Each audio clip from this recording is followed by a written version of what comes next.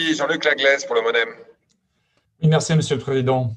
Comme vous l'avez souligné, Monsieur le Commissaire, la crise que nous traversons nous a touchés au plus profond de ce que nous sommes, révélant nos forces comme nos faiblesses.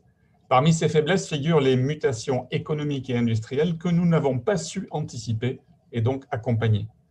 Privés d'une réelle politique industrielle, nous n'avons pas eu de réflexion pour trouver de nouveaux relais d'activité pour nos territoires. Les secteurs de l'aéronautique et du transport aérien, qui me tiennent particulièrement à cœur, en sont des exemples frappants. Ils sont à l'arrêt depuis le mois de mars dernier, avec un redécollage qui prendra probablement plus de cinq ans.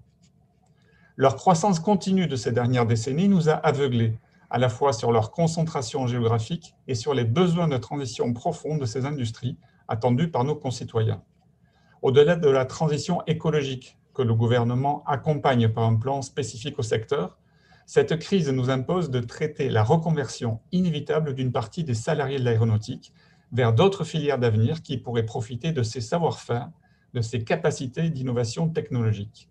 Sans cette planification, l'avion France va droit dans le mur. D'ici quelques mois, des licenciements toucheront plus du tiers des employés de l'aéronautique de la région Occitanie et Aquitaine, tant les donneurs d'ordre, tant chez les donneurs d'ordre que chez les sous-traitants.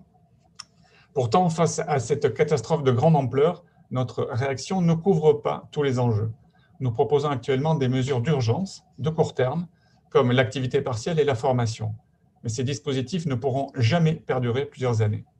Planifions, donc une reconversion à grande échelle d'un nombre important d'emplois du secteur aéronautique. Pour ça, j'ai proposé au gouvernement de créer un ambitieux dispositif de détachement cofinancé par l'État et les régions qui permettrait de mettre à disposition ces compétences de pointe, actuellement à l'arrêt, à d'autres filières d'avenir existantes dans des startups ou à créer dans des domaines comme la robotisation industrielle, les mobilités du futur ou encore l'intelligence artificielle. De cette manière, l'État ne financerait pas des salariés pour qu'ils restent chez eux, mais pour qu'ils aident à construire l'avenir. Monsieur le commissaire, comment comptez-vous aborder dans vos travaux cet enjeu de planification de notre stratégie industrielle et d'adéquation entre les ressources humaines disponibles et les filières d'avenir Je vous remercie. Merci. Fédérer les acteurs. Euh, Jean-Luc Laglaise, à très juste titre, a dit, mais on, va avoir, on risque d'avoir du chômage dans l'aéronautique. Est-ce qu'on ne peut pas euh, proposer à des entreprises par exemple à des startups qui se créeraient dans ces domaines de reconquête, avec une participation des grandes entreprises, de partager les compétences qui vont être inutilisées dans les années qui viennent. Je prends des exemples. Un pays qui a euh, une entreprise aussi euh, performante que Dassault Systèmes euh, c'est un pays qui a des atouts incroyables. On a Dassault Systèmes, on a ST Microelectronics, on a le CEA, tout domaine. On a une chaire au Collège de France d'algorithmique. Euh, on est extraordinairement avancé parmi les nations sur ces sujets-là. Encore faut-il fédérer les efforts de recherche, de transfert technologique et d'expérience acquise par les grandes entreprises, souvent multinationales, qui sont les nôtres.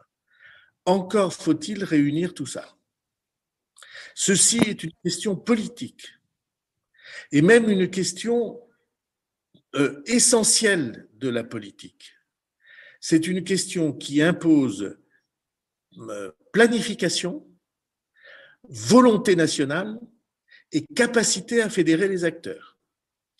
Alors, euh, euh, vous êtes tous des experts des sujets, donc je ne vais pas vous donner des, euh, des leçons de, de, ce, de ce point de vue-là, mais je trouve très intéressant ce que Jean-Luc Laglaise a indiqué ou a ouvert comme perspective, parce que c'est exactement ça.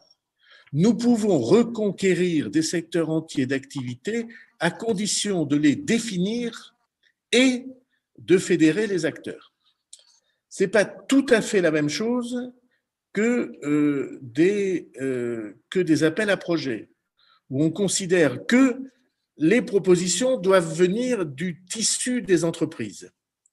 Moi, je pense que les propositions doivent être partagées entre euh, l'État, la puissance publique qui retrouverait ainsi un rôle de stratège à condition d'avoir une capacité de fédérer les acteurs. Je ne sais pas si je me fais bien comprendre, mais c'est exactement ce que j'ai en tête. Et donc, la, création ou, la précision euh, de cette capacité euh, de l'État auquel le Parlement peut beaucoup apporter, de, définir, en tout cas de discuter avec les acteurs.